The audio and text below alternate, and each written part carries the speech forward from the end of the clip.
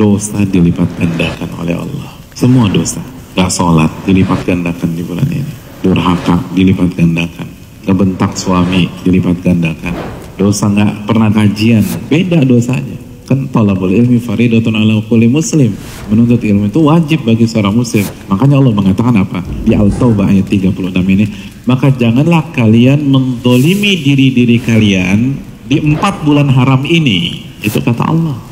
Setiap maksiat yang kita lakukan sejatinya mendolimi diri kita sendiri. Karena gara-gara maksiat kita kena musibah. Masih ingat surat Asyura ayat 30?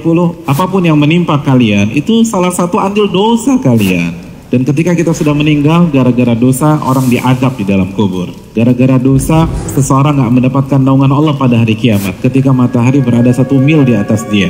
Gara-gara dosa dia dimasukkan ke dalam api neraka. Makanya kan Allah kata apa? Ketika mereka maksiat melakukan kesyirikan mereka nggak pernah dolimin kami kata Allah. Tapi mereka mendolimi diri-diri mereka sendiri. Janganlah kalian melakukan dosa di empat bulan ini kata Allah. Berarti di Syaban boleh dong Pak Ustaz. Robil awal, Robil Thani juga boleh. Hadirin, ini bahasa penekanan, bukan pengkhususan. Analoginya gini, antum punya perusahaan. Besok perusahaan antum akan didatangi oleh Menteri Tenaga Kerja. Maka hari ini antum akan kumpulkan pegawai-pegawai antum. Lalu antum akan briefing. Besok jangan ada yang datang terlambat. Eh ada yang nyeletuk.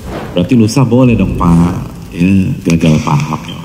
Ini bahasa penekanan. Setiap hari nggak boleh datang terlambat. Ditekankan besok. Kenapa? Karena ada tamu istimewa besok. Bukan berarti hanya besok aja nggak boleh datang terlambat.